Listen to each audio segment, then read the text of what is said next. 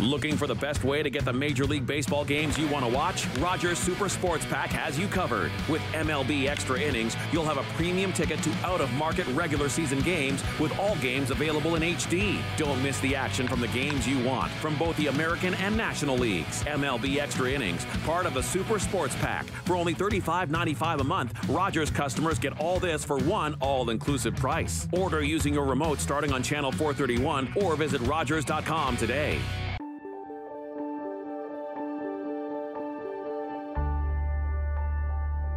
Watching Rogers TV St. John's.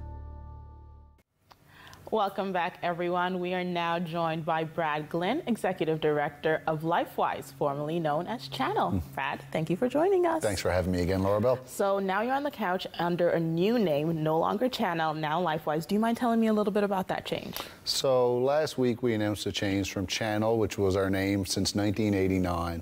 And of course, CHANNAL was the Consumer Health Awareness Network Newfoundland and Labrador. And the focus of that name was largely about the fact we're an organization of people with lived experience of mental health issues, mental illness, and substance use issues. So myself and all 33 staff members all identify as that. But over time, as the organization has evolved, we're consumers, we're peers, we offer frontline peer support services. But we ultimately believe our lived experience is what makes us who we are as an organization. And we feel that LifeWise speaks to that. The wisdom that we've gained through the ups and downs of living with mental health issues or substance use issues have made us wise. And that's how we're able to offer effective frontline peer support services. And that's also how we're able to advocate for people with lived experience and further discussions in our province to promote destigmatization and positive conversations about mental health and mental wellness. So we're now in the midst of Mental Health Week, and the theme for this year is empathy. Now, how does that impact the work that you guys do at LifeWise? It is really a central thing, and, and the thing about empathy is it's that ability to, to feel and be with someone else as they're experiencing something. And our peer supporters who do frontline work are experts at being empathetic with others, and we believe that our own stories are what help inform that empathy. So if someone calls our warm line, one of our peer supporters may not have had the exact same experiences, but because of that connection of the ups and downs of living life with a mental illness or a substance use issue, we're able to empathize so quickly, so easily, and then we're able to use our stories to support them in their stories and how they're moving forward and solutions to their problem. Because ultimately, empathy is about that. It's about being with someone and sitting with them as they journey through their life. It's not prescriptive. It's not about you need to do this. It's I'm here with you. I'm able to hold space with you. I'm able to listen to you. And I'm able to support you in finding solutions for yourself. So when we talk about support with the rebranding, what can people expect in terms of services that are now provided by LifeWise? So our frontline peer support services are the same. Our English and French warm lines are still there for anyone who wants to call them. Our virtual groups and in-person groups are still there. Our virtual and one-on-one services are still there. And right now our focus is largely in ensuring that the public knows we're there as a frontline service. Of course, with the pandemic and everything that's happened in the past few years, we want people to know we're there. And the other thing we want to do is further our role as a thought leader and a conversation leader in this province about the role people with lived experience play in forming a mental health system, in the services provided by regional health authorities, in the ways workplaces support and understand people of lived experience, and just how to have conversations with family and friends. And going back to Mental Health Week and empathy, that's often the first step is instead of looking at someone with judgment instead of looking at someone for their flaws or for a diagnosis looking at them empathetically and understanding what they're going through and being able to be with them and we want to ensure that the public knows we're there working with the current mental health system as a frontline service and also advocating and supporting change that's more person-centered and more about all the amazing things people with lived experience have to offer. So, as we're talking a little bit more about Mental Health Week, it's something that's really important to celebrate. What do you think is the role of of LifeWise, no longer CHANNAL, in the progression of mental health conversations and the forward movement for Mental Health Week? I think there's a couple things we can do. An area of growth I see for the organization is the ability to lift up other voices in our province. We've got a structure from here to Happy Valley Goose Bay, and we want to partner with people and groups formally and informally to lift up those voices. Because, of course, my voice and my colleagues' voices are are select voices of lived experience, and we want to ensure those voices that maybe get a little less attention, maybe are a little more marginalized in the conversation, are lifted up and I think the other role we have is as an organization with a 33 year history of we understand the landscape. We understand that there's been tremendous growth in the way mental health is spoken about in our province, and there's been great work done by politicians, by private businesses, by people in the health sector, and that there's still so much more to be done. So that it's a yes and conversation. Yes, you've done all this, and that's great and we need to assure we're not resting on that. We're not content with what's been done. There's still so much more to be done. And we want to be active partners and positive partners at having those conversations in an honest way so that we're not just telling people what they want to hear, but we're working in a solution based way to further conversations that make life better for everyone in our province, particularly those people living with a mental illness. So, as we've talked a little bit about before when you were here last time, we talked a little bit about what mental health and mental illness has been like for people living through the pandemic. As we move into what is being classified as living with COVID and life post pandemic, mm.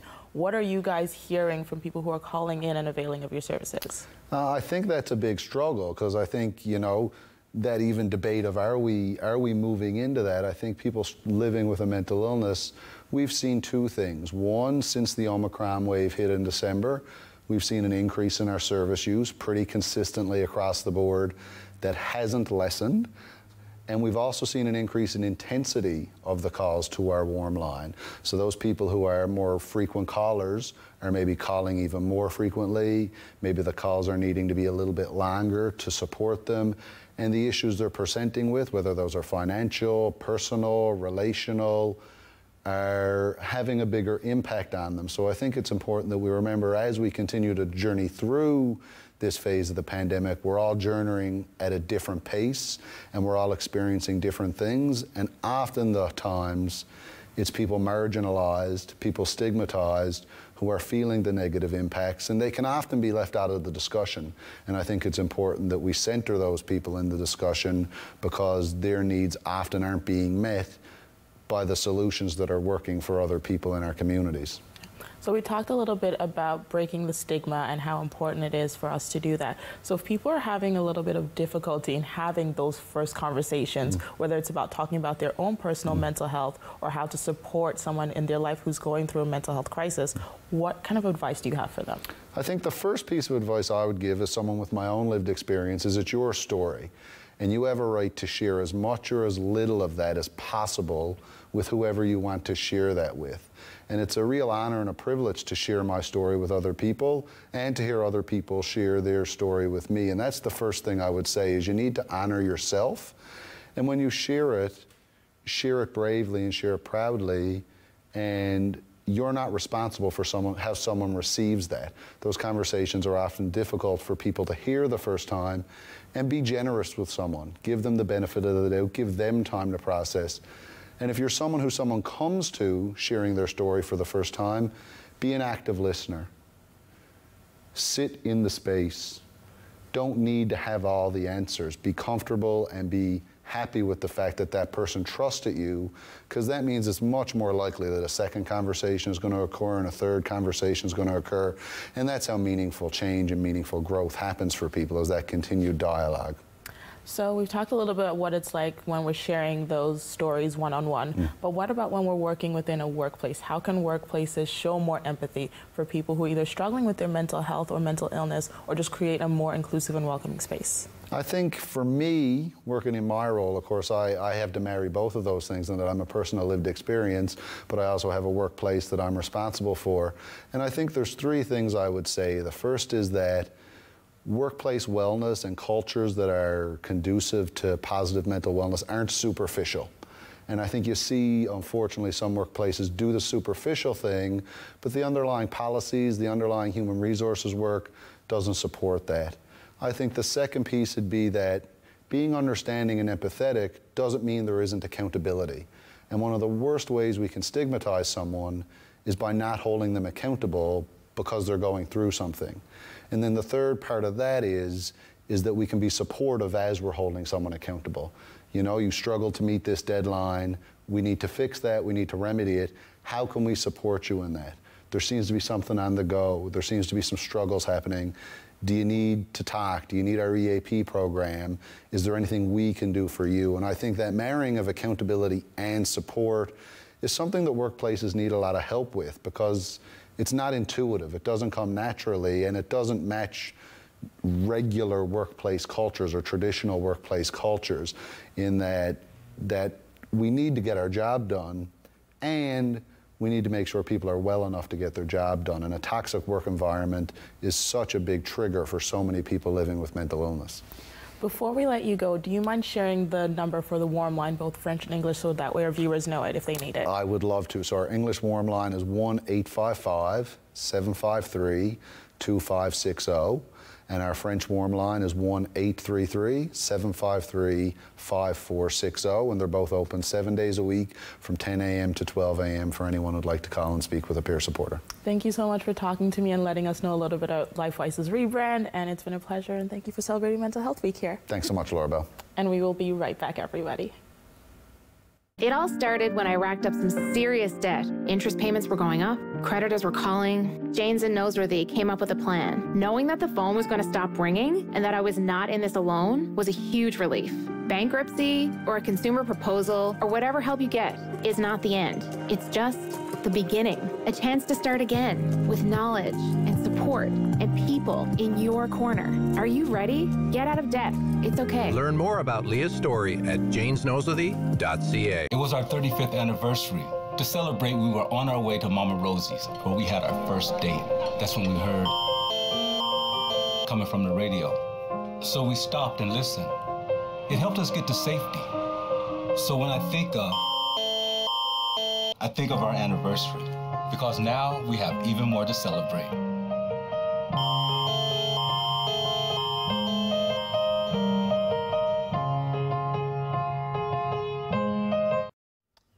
And welcome back, everyone. I'm now joined by Kimberly Yetman Dawson, CEO of CMHA NL, the Canadian Mental Health Association of Newfoundland and Labrador. Kimberly, thank you for joining me. Thank you very much, Laurabel. It's nice to be here. So, to let our guests know a little bit of who you are, since you are now the new CEO of CMHA NL, many people might not know who you are. So, do you mind letting them know? Sure. So, I was born in Grand Falls, Windsor went away to school in Ontario and I went to university and I met my husband. We went to Orillia and had two kids and then I came back here for a job about 15 years ago and I spearheaded the Housing and Homelessness Network of Newfoundland and Labrador. And uh, then I moved on to empower the Disability Resource Center as their ED. And five months ago, I, well, about a year ago, I started the process for the interviewing for the CEO of CMHANL. And uh, lucky enough, I've been here five months. And uh, as someone with lived experience that has a mental illness, I think it's important as a leader of a mental health organization. And I'm very proud of the team and what we've accomplished so far. Big shoes to fill in, in John Abbott leaving, but I'm excited about the future. So, we are in the midst of Mental Health Week, and the theme for Mental Health Week this year is empathy. Now, what does that mean to CMHA as an organization? Mm-hmm. I think it's about being real with each other, admitting when you're not okay. You know, it's okay not to be okay. It's about talking about mental health, even when you don't understand it. Um, it's about caring.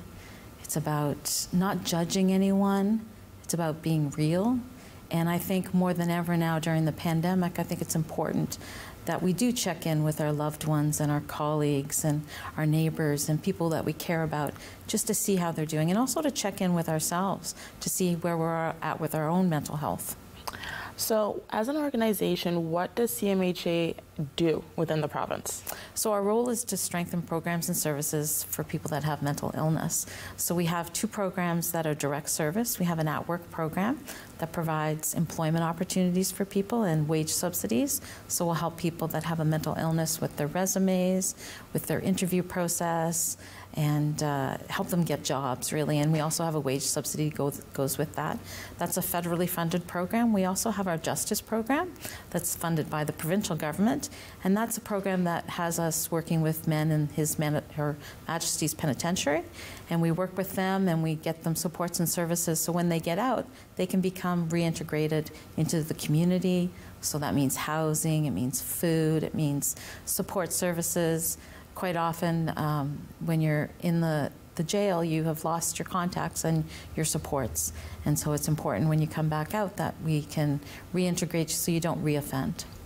And so I know there are a couple offices for CMHA within the province. So those are located within Grand Falls and out in Stephenville. So what services are provided in those two offices? So we have regional man- managers right now, one in Central and one in the Western Coast. And they do public relations for us, they do education and training, they sit on committees and advisory boards around mental health in those regions. And we're also hoping to have somebody in Labrador shortly as well. So we talked a little bit about, you said they provide training and education. What is training and education for CMHA? Oh, it's a huge aspect of the services that we provide, and you can actually go on. We have a library of resources available on our website, but it really is meeting people where they're at and what their needs are in regards to training. So there's workplace training, psychological health and safety, there's ASIST training, there's um, workplace mental health. And I just finished workplace mental health, and I think that everyone should take a mental health first aid course. It's just like first aid, except for mental health, right? And I think that's what's so important that we have more people that understand and that are educated and can can talk openly about mental health, just like you're talking about having high blood pressure or diabetes, that we're open about it. So you said a program called ASIST. So what is ASIST? ASIST is applied suicide intervention training. Okay. And it's for people that want to help others that are thinking about suicide or that are struggling with their mental health. And we provide that training. It's in it's an in-person training. Some of the training that we do is virtual, so you can take it from anywhere in Newfoundland and Labrador. But that training in particular is for yeah, it's in person. So what is CMHA doing in order of terms of breaking stigma that surrounds mental health and mental illness? I think it's about talking about mental health and mental illness in an open manner. It's about um, educating um, policymakers in regards to what's going on with lived experience. We last year we did a report called "Embracing Experiences," where we had 40 lived experience people with mental illness talk about their experience with the system and how we could improve it. So I think it's about um, doing a bit of education, advocacy, policy work but it's also about delivering programs and services and being responsive to what the community needs and being able to articulate that at the tables that we sit at. So, if someone reached out to CMHA right now just because they're in the middle of a crisis or experiencing some kind of mental health related difficulties, what can they expect to happen when they reach out? So, we don't do direct clinical services. So, what we would recommend is that they call one of the lines. Either they would call LifeWise, which was CHANNAL before, or if they're in a mental health crisis. Right now, the province announced that you can call 811. So, it's not a long number that you have to remember. You don't have to go on the website and try and navigate it. You can just dial 811, and there's a, a nurse available that has uh, crisis intervention training that can support you. So, when we talked about Mental Health Week and the theme being empathy, what is the importance of being empathetic to people who are either living with mental illness or for us ourselves who are just have mental health as a whole? Mm-hmm. I think, well, everyone has mental health, so I think we need to know that. Um, we can struggle at times. Everyone can struggle with their mental health, and it can happen to anyone a politician, a musician, an athlete, a dentist, a student, your neighbor, your sister, your mother. And um, I think having empathy shows that you're being non judgmental, that you are listening. That you are affirming that that person has those feelings. They may not understand them, and they may there may become more understanding of their feelings when they articulate them. I find when I talk about how I'm feeling, it makes more sense and I can rationalize it better. So I think having empathy is about not being judgmental and the importance of being able to talk about it openly and to and to be able to do check-ins with people. We do check-ins on how are you feeling? Oh, I have an upset stomach. Well, I can identify with that because I've had an upset stomach. Well, are you struggling with your mental health? Well, I can identify that because I've struggled with my own mental health and I've been there. So, if families and teachers and edu- other educational professionals are looking to reach out to support mental health trainings within their schools or their faculties, what are things that they can do when looking with, to CMHA? Oh, I would definitely refer them to our website at cmhanl.ca. There is a ton of resources available. There's training available. We also are well networked with CMHAs across Canada, so we have resources from BC and Ontario. Our national office provides resources as well. So we're always delivering, tr- trying to deliver up to date training and education to people and keep our resources on our website up to date. So, what are some of the best ways to interact with CMHA? Would it be calling in or social media better to connect? I, anyway is good. You can contact us on our website through our email, office at cmhanl.ca.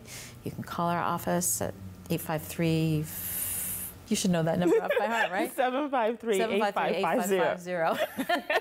Thank worries. you. Not a problem. I never call myself. 753-8550. No worries. And so, if for viewers who are watching right now, what is one core thing you want them to know when it comes to mental health, mental illness, and Mental Health Week? I would say not be embarrassed by your mental health struggles. That um, there, and you're not alone. I think that's really important because I think when people are thinking about their own mental health, you often feel isolated. And, and nowadays, with the pandemic, more than ever, I think people are feeling isolated and anxiety. So I think it's realizing that you're not alone and there are lots of supports available for you out there. And it's just about reaching out and talking about it. So, are there any exciting things going on for CMHA this year that you think our viewers would be interested in knowing about? Yes, we have lots of events going on uh, across the province, and you can register for them virtually. And you can check out all the resources at our website at cmhanl.ca to log on to our virtual. We have some lunch and learns going on. We have a movie night going on in Stephenville. We have a release going on. So there's lots of events happening.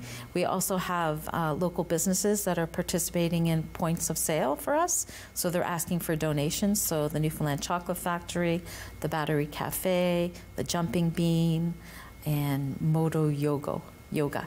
Perfect. So, and funds raised are going back to supporting services within the province? Yes, so the funds stay locally for sure, and they would be dedicated to education and training for people in Newfoundland and Labrador. Perfect. Thank you so much. I do have one thing to talk about because I know there is something special happening for CMHA this year Yes. with the Tickle Swim being its 10th anniversary. So, do you mind telling people a little bit about that? Yes, so we're really excited. Uh, yesterday, I actually had an opportunity to do a proclamation at the City of St. John's and uh, acknowledge our Deputy Mayor, Sheila O'Leary, who actually started the Tickle Swim 10 years ago. So we're celebrating this year, and this year we have a title sponsor in Munn Insurance. And the Tickle Swim, we're hoping, fingers crossed, will take place the first week of August, uh, depending on the weather. And we're currently looking for sponsors and for swimmers. And yes, we're really excited about this event. It's a huge event for us and a, and a big fundraiser for us as well. So, when we talk about mental health and mental illness, there's still a little bit of stigma when it comes to workplaces. So, what does something that CMHA is doing to support businesses and organizations when it comes to breaking that stigma? Well, we provide training, workplace mental health training to organizations or businesses if they would like that.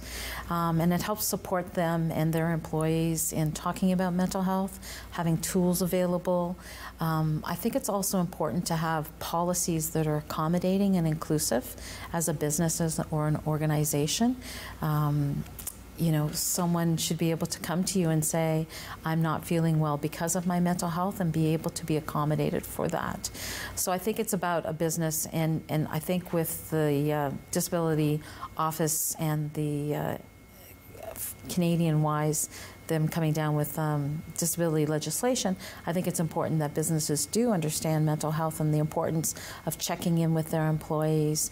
Um, you know, recognizing the signs. Is, is someone coming to work disheveled or uh, are they abusing uh, substances? You know, being able to talk about those things and and being able to recognize the signs of mental illness and mental health struggles.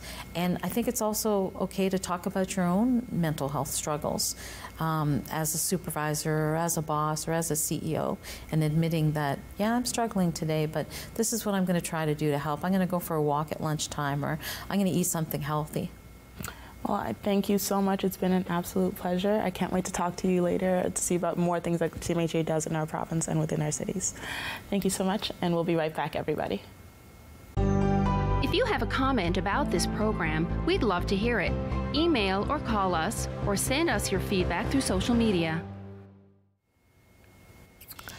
It was absolutely amazing to get to sit down and talk to Brad from LifeWise and Kimberly from CMHA NL. I'd like to remind everyone out there tonight if you are suffering with mental illness or having a mental health crisis, don't be afraid to reach out. You are not anything to be embarrassed about, and your mental health is important. Happy Mental Health Week, everyone, and have a great night.